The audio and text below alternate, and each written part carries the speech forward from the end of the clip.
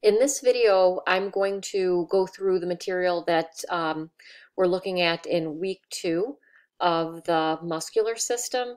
And I'm starting at the top of the notes because really this week heavily depends on us understanding the material from week one. So what we're really talking about this week is how skeletal muscle contracts. And so the most important things uh, to remember from week one you know, it is important to know the connective tissue and so on, but um, make sure that you're really sharp on the structure of a myofibril. How the myofibril is that like strand of dried spaghetti, if that made sense to you, that an entire skeletal muscle cell is filled with these cylindrical subunits called myofibrils. And then if we look along the length of the myofibril, what we see is this particular arrangement of thick and thin filaments. Okay, so we see called a sarcomere. And so sarcomeres run down the length of um, each myofibril and the sarcomeres of all of the myofibrils or the whole bundle of spaghetti all align within a cell that creates a banding pattern. And uh, hopefully you look at that banding pattern in lab. I'm going to look at that a little bit with you today. We need to know the structure of the thick filament, how it's made out of a protein called myosin and that myosin, it's a big macro molecule and it takes more than one myosin molecule to make the thick filament. It takes many of them. And so if I was going to make a thick filament, what I would do is take this golf club looking uh, piece of protein. I'd take two of them and I'd put them end to end so that the club uh, globular portions come out opposite each other and that's what you're seeing here. Many myosin molecules assembled such that the center of the thick filament is smooth. And then those globular head groups, or they're called cross bridges, radiate like spiral outward around the lateral um, parts of the thick filament. We also really need to know the structure of the thin filament. The thin filament is made out of three different types of protein. Primarily, you know, actin is the central core. So each of these globs is what's called G-actin or globular actin. Uh, we have two strands of those that spiral around each other. And when you have a strand of actin, you call it F-actin or fibrous actin. So the G-actin beads make up the F-actin strand. Those two uh, pieces of protein spiral around each other, and each um, bead of actin has a myosin binding site on it. Uh, but that myosin binding site, when the cell is at rest, is hidden by a second protein called tropomyosin. So this protein that looks kind of like a linear, you know, like garland going around the outside. Uh, that's tropomyosin, and it's strategically placed, like I mentioned, and to cover all of the myosin binding sites, so it's hiding those. And then the third protein is called troponin, and troponin is a protein that's associated with the actin and with the tropomyosin uh, at regular intervals down the thin filament. And actually, if we took a close look at troponin, which hopefully you did last week, uh, one of those globules uh, attaches to tropomyosin, one attaches to actin, and then the third is a calcium receptor. So you can kind of hear how this is going to work. Calcium is going to, you know, be a trigger for something to happen here. So that's a quick review on the structure of the thin filament. And then, of course, the T tubules and the sarcoplasmic reticulum, very important here. So the sarcoplasmic reticulum, here it looks like the loosely crocheted sleeve. It covers the outside of every single myofibril. So it's an intracellular organelle. It surrounds each myofibril and um, it's it's a variation of the smooth endoplasmic reticulum. So you can see it's just a series of these channels and interconnected channels, tunnels, and the function of the sarcoplasmic reticulum or the SR when the muscle is at rest is to store calcium. So we keep the free calcium level in the muscle very, very low because we use active transport. So we use energy 24 7 to take any free calcium ion that's out in the cytoplasm or sarcoplasm and put it into the SR. So the SR is continually using energy to store that calcium because we know, you know, according to the laws of simple diffusion, if I have a lot of calcium inside the SR and no calcium outside the SR, that calcium will just diffuse out of the SR, and that happens. And when it happens, we use active transport to capture that calcium and put it back into the SR. So that's what the SR is doing. The T tubules are a continuation of the sarcolemma or the plasma membrane. So in other words, it's a continuation from the surface of the cell And what the T-tubules do is they also wrap around every single myofibril and they're associated with the sarcoplasmic reticulum. So the T-tubule is a membranous tunnel system that's continuous with the sarcolemma and affiliated with the sarcoplasmic reticulum. And the T-tubules we're going to see today are used as like a transit system. So if a message for the cell to contract is delivered on the cell surface, that message could literally like fall into the T-tubule. It would go around all the different myofibrils and the SR would be aware of it. That's a real simple way to think of it for now. So that's a little review from last week before we go into this week. And what I'm going to do this week is I want to describe the events of muscle contraction um, using pictures. I'm not going to go through the notes and like mark up every word. I'm going to let you do that because there's a lot of notes to read through. But the most important thing is to understand the story. And so this is really physiology that we're looking at this week. We're no longer just looking at like names of parts. We're trying to put the parts together in, in motion. So let's see how it goes. Um, so at the top of page seven, I have an overview of the sliding filament theory of contraction. And so all I'm trying to do in this um, bulleted list is give you like a, the big picture of this is how muscle contracts. And I'm going to switch to some pictures here. So if we know the structure of the sarcolemma, big picture, the way muscle contracts is that these thin filaments uh, get pulled over top of the thick filaments. And the way that that works is, you know, those globular head groups on the thick filament, they bind to actin and then they start to pull actin in towards the center of the sarcomere. And this would happen at all of the filaments in all of the cell. And so when a muscle cell contracts, either the whole thing contracts or it doesn't contract. It's all or nothing. So with a muscle cell, an individual cell, the whole thing works together. It's a yes or no question. That's not the case next week. So we have to make sure to get this down at the cellular level the whole thing's going to contract or not at all and it will contract to its you know fullest force it's not going to contract like light or medium or strong it's just either yes or no and the way that it contracts i'm going to use my hand see if this makes sense say if my fingers were um, the thin filaments uh, the thin filaments slide over top of the thick and then they slide back when the muscle's done contracting if that makes any sense okay so in other words the thick filaments and the thin filaments don't change length the thin filaments slide over top of the thick, and then when the muscle's done contracting, goes back to where it was. So that's what they're trying to show us in this picture, that here the sarcomere is at rest, and then in this picture, these globular head groups are acting kind of like a tug of war, if that makes sense, like um, uh, grabbing onto the actin and just pulling it in uh, towards the center of the sarcomere. And so when this happens, if you know the banding pattern, which you should know the banding pattern for lecture and for lab, uh, what we're going to see is that, um, remember the light bands are called eyes, little review here. So here's an I band. I'll mark this up. So here's an I band, that light area. Here's another I band. Okay, so the dark band is called the A band. And as far as the border from one sarcomere to the next, uh, the Z line that's right in the middle of the I band, that's the indicator uh, for uh, the border of a sarcomere. So there's one sarcomere in between my um, blue lines where we can see the thin filaments on the side, so that is making up half of the I band, and then the thick filaments are running down the middle, and that's making up your whole A band. Now the thin filaments are going to partially overlap the thick filaments. I can see exactly where they stop, right? This is an electron micrograph that we're looking at. It's magnified you know, 100,000 times, or I'd have to actually look up the amount of magnification here, but it's a lot. It's more than we can get in lab. So what happens after the thin filaments, which start at the Z line and project, you know, overlap the thick filaments to a point, you get this lighter region in the middle of the A band that's called the H zone. And then the M line in the middle of the H zone. The M line is just protein that's anchoring those thick filaments in place. And technically the Z line, the boundary of the sarcomere, that's also a line of protein, and what it's doing is it's anchoring the thin filaments in place. And so when the muscle contracts, do you see how the thin filaments slide over top of the thick so that when that happens, the H zone goes away. So I can see the H zone is going away. Because the thick filaments don't change in length, do you notice how the A band is going to stay the same width.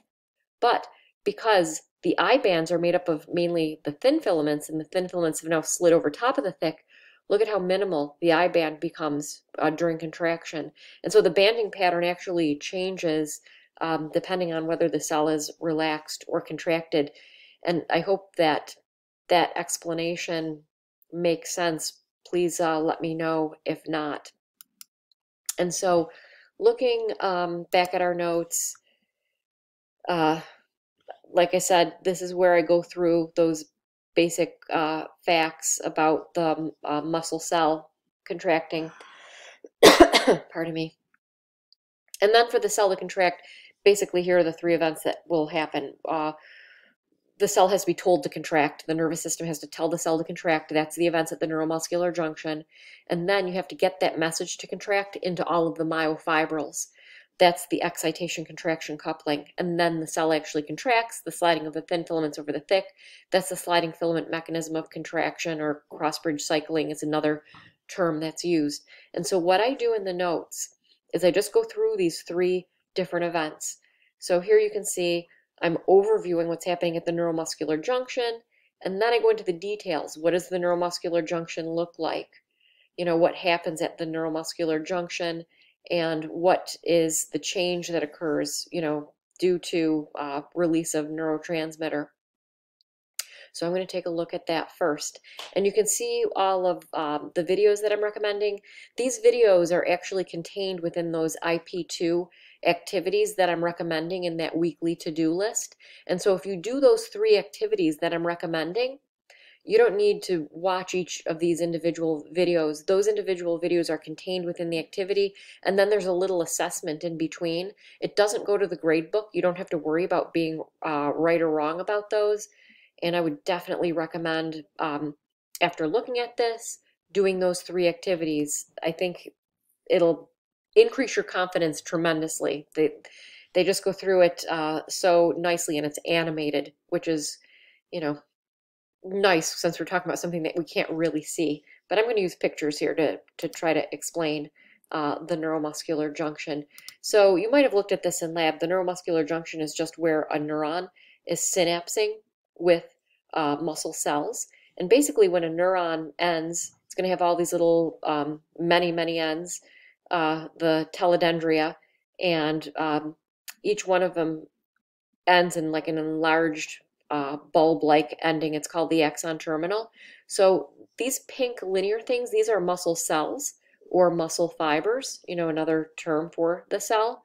And so you can see when the um, neuron synapses with a muscle cell, believe it or not, this is um, a one-to-one -one ratio. You might have a number of endings in here, but you're not going to have another neuron synapse with this cell. So this, this location, which is known as the neuromuscular junction, this is where we're controlling the muscle cell. Keep in mind that skeletal muscle is voluntary.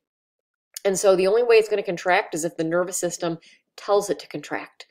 And so you have to have some type of activity here at the neuromuscular junction. That's what we're going to look at. So in our book, this is just part of the picture that they show us in the book where here is um, an axon um, terminal. So this is what I mean by it might branch a little bit, but still it's just one neuron that's delivering this message. And you can see that the axon terminals, it looks like they're contacting uh, the cell. Uh, actually, there is a space between the axon terminal and the sarcolemma.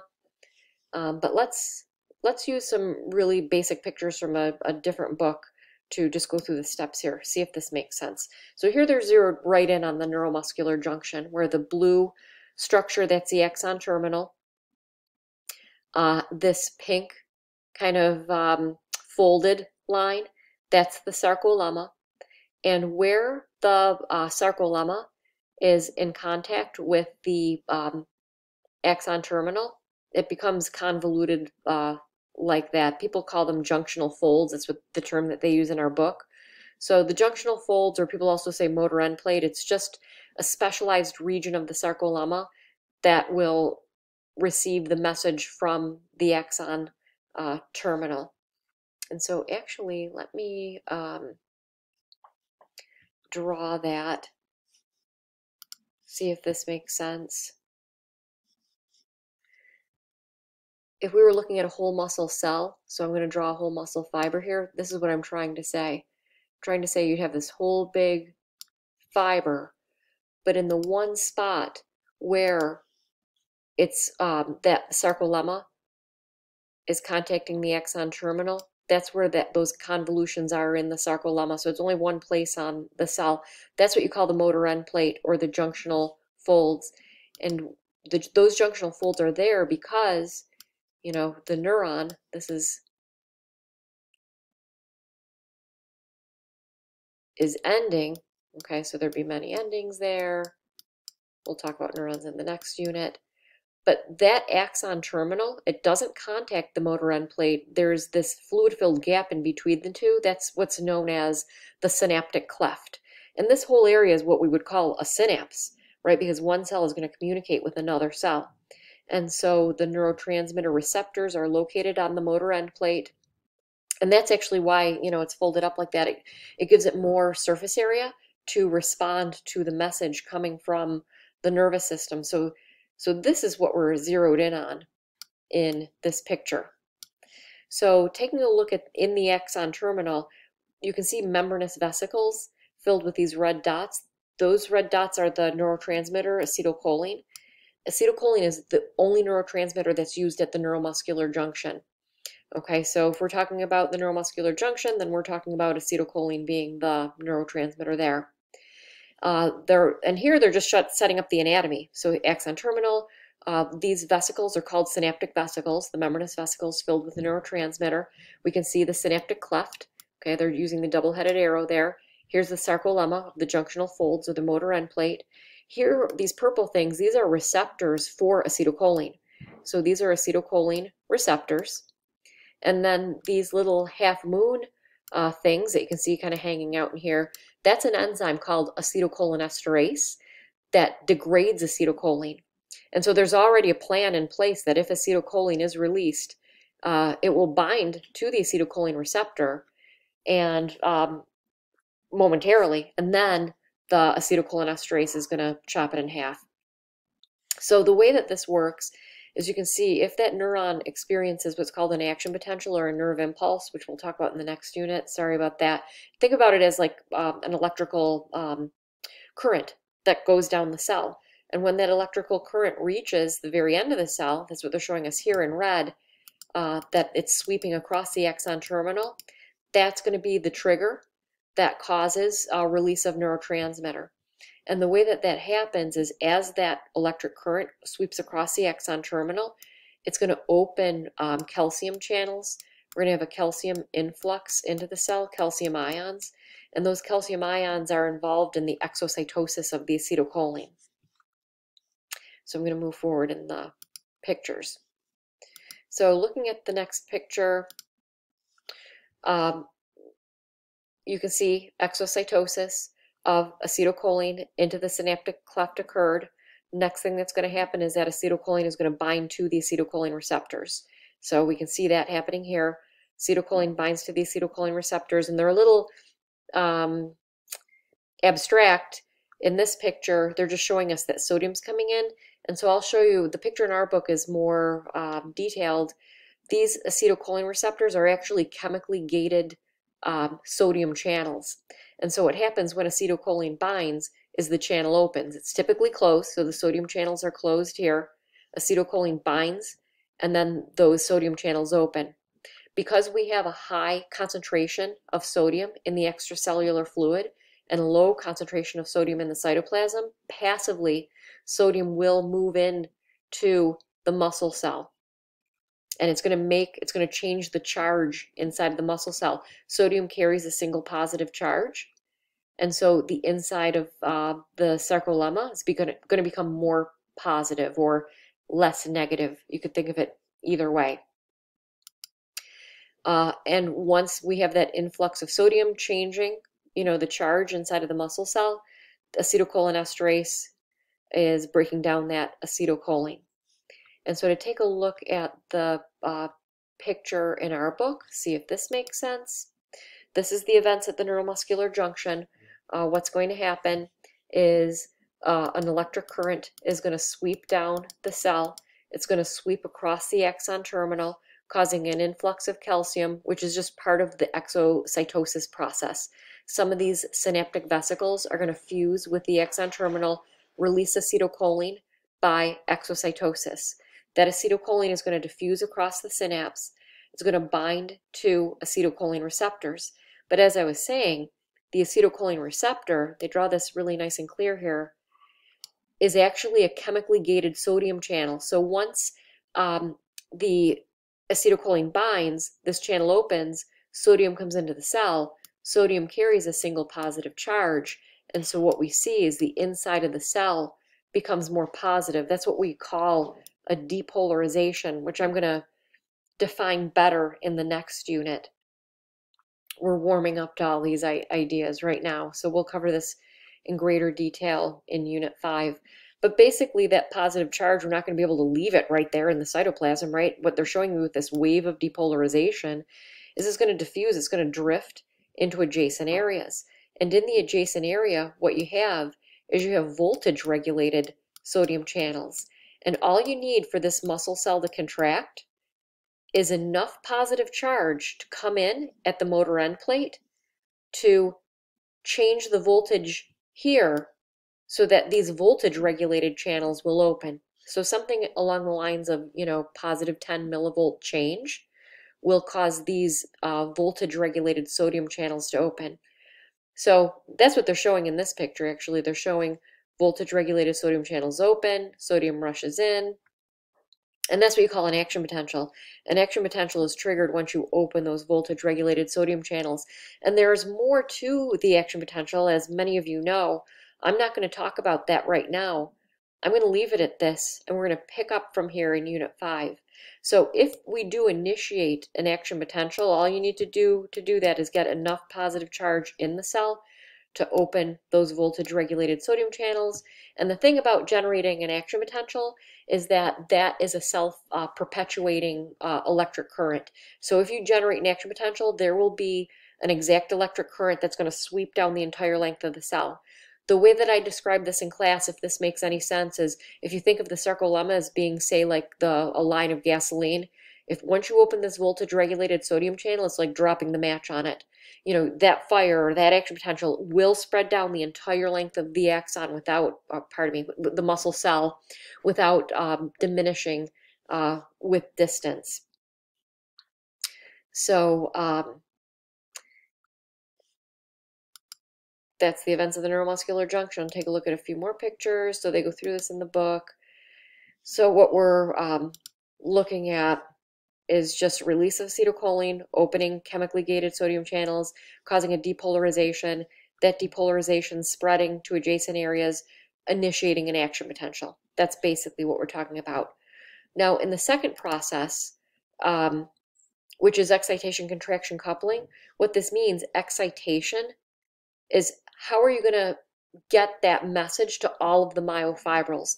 Think of, say, like a bodybuilder you know, muscles are all different sizes. Muscle cells are all different sizes, making the muscles all different sizes. But a muscle cell, if you think of it as the bundle of myofibrils, like we talked about last week, it could be, you know, small, like a, a small bundle of spaghetti, or it could be the whole box of spaghetti. You see what I'm saying? If it's the whole box of spaghetti, you're going to be able to generate more uh, force, which we'll talk about next week. But basically, you know, the, the force generated is is proportional to like the interaction that you have in in the cell. So how are we going to get that message that was delivered at one point you know at the uh, motor end plate to all those myofibrils? That's what excite, excitation contraction coupling is about you know how that message is going to get through. So let me use some pictures and try to explain that. So a picture from our book here they're giving us the bigger picture. They're showing release of acetylcholine at the neuromuscular junction, a depolarization at the motor end plate that allowed enough sodium in that went over to an adjacent area, opened voltage regulated sodium channels, initiating an action potential. That action potential is now going to spread down the sarcolemma. And remember how the T tubules are continuous with the sarcolemma? That depolarization will fall into the T tubule not only will it fall into the T tubule, but it will start moving forward. So if that line of gasoline um, analogy made sense, it's almost like saying, you know, because the T tubules are continuations of the sarcolemma, the T tubes would be the gas line too. It would be a continuation. So say when the fire hits here, it goes down the T tubule and it moves forward to the next T tubule and it moves forward. So taking another look, let's take a look at this picture. It's easier to see, bigger. When uh, that electric current uh, reaches a T tubule, it falls into the T tubule, it also moves forward. The T tubules are associated with the sarcoplasmic reticulum, this particular area of the SR that's called a terminal cisterna.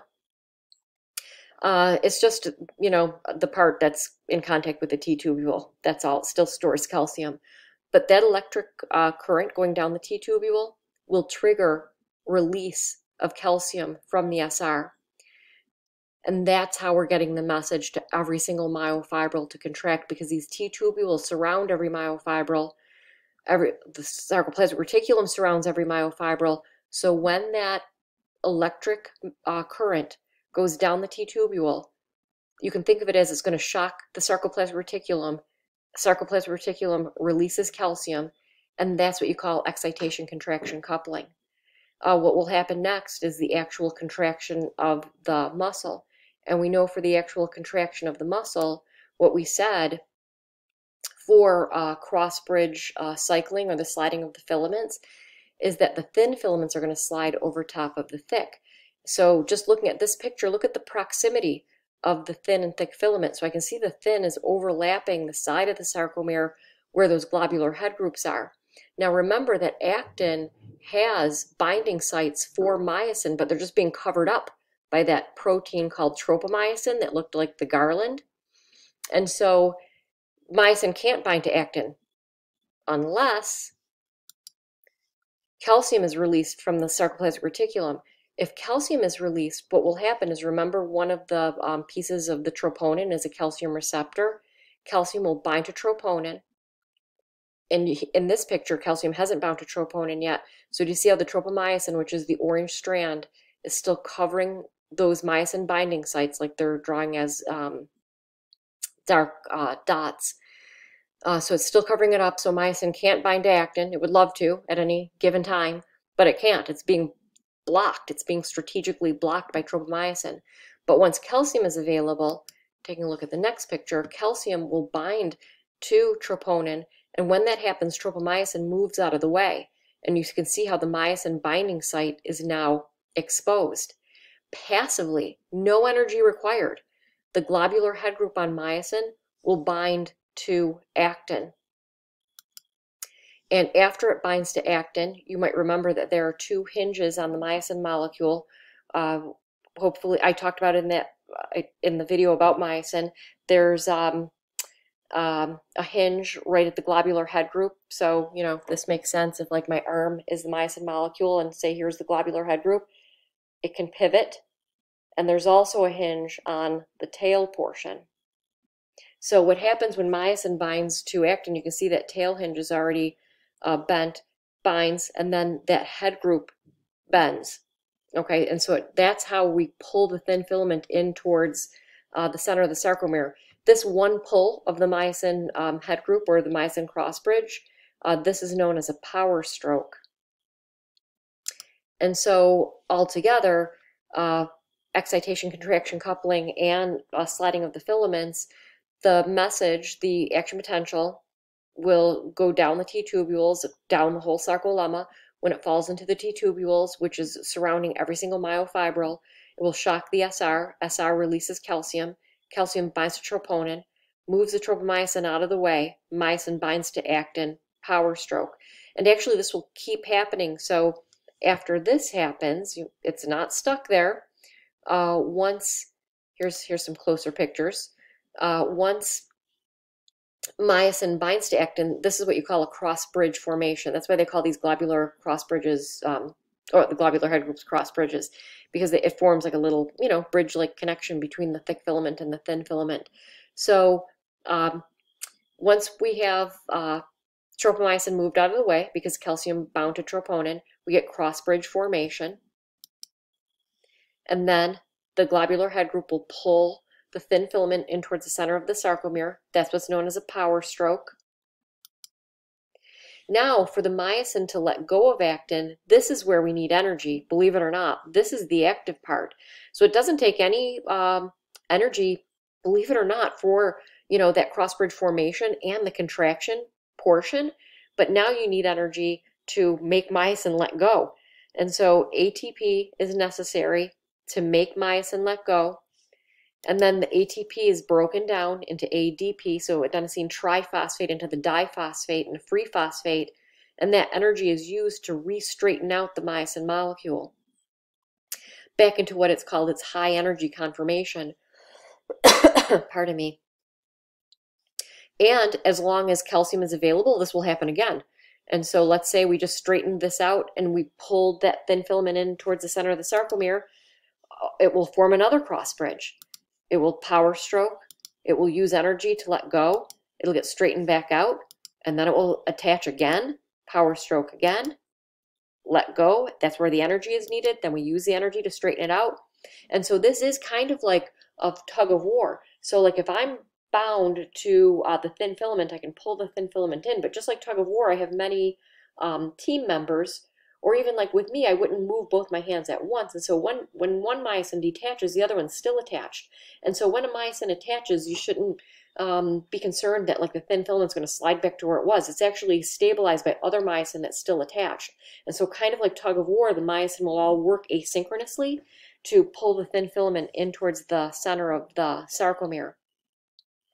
Once the um, action potential is no longer there, and just going back to our picture, this one, um, and there's no more electric current going down the T-tubule, what will happen is we'll use active transport, we'll use energy uh, to collect back all that calcium. So we'll take it right off the troponin. And so tropomyosin will move back in the way. And so at, at a point, that's what stops contraction. In order to contract, you have to have that signal, and that signal came from the nervous system. When you no longer have that signal, the calcium is brought back into the SR. One of these times when the tug of war, myosin goes back and it wants to bind actin, but can't find the binding site because it's covered up by tropomyosin again. So I know that is a lot, and that's why I have the three activities in the um, the weekly to-do list. I think, like I said, once you go through those activities, they will um, they will help tremendously they'll help you put this uh, together, and so will I. So please let me know what questions you have. But what we did today is we looked at what muscle contraction looks like overall, and then we went through um, these three events the neuromuscular junction, which is page seven, how we distribute that message to the cell, that's top page nine, excitation, contraction, coupling, and then the sliding of the filaments, which is cross bridge cycling, that's on page nine. Okay, and you can go through this little like step by step. And I tried to also write it out step by step uh, for you. And then this picture is just an overview, putting together the excitation contraction coupling and um, the contraction and relaxation. And so uh, here we have a brand new topic, which we'll, we'll uh, tackle in week three. So I hope this helps. Thank you.